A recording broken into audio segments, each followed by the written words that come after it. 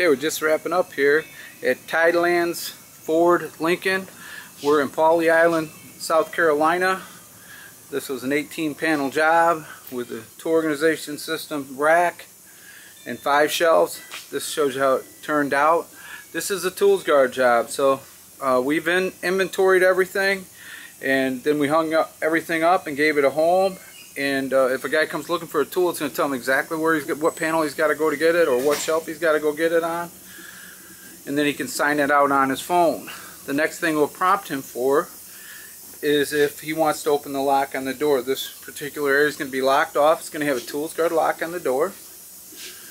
And uh, all they got to do is push a button on that keypad and that'll let them into the tool room. Record everybody coming in and out and everything being that gets signed in and out.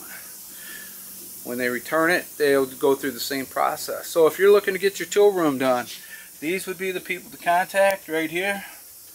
Talk to about it. Get a free quote. Okay, so as you can see, everything has a label, QR code. They can either sign tools out with the QR code, they can sign tools out with the number. They can locate the tool on their phone down in the service area. I'm up in a mezzanine right now. That's where this was installed. Okay, back over there is a TOS rack system for totes. We usually use that for tool, older tools.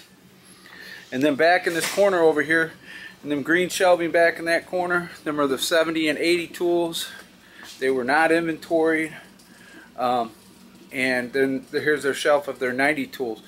Uh, we've inventoried everything here that has a global number on it for the global numbering system. That would be from 1998 up.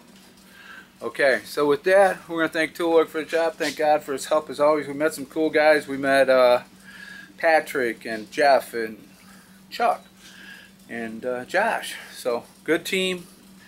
I think it turned out really nice for them. And with that, we're going to get on down the road.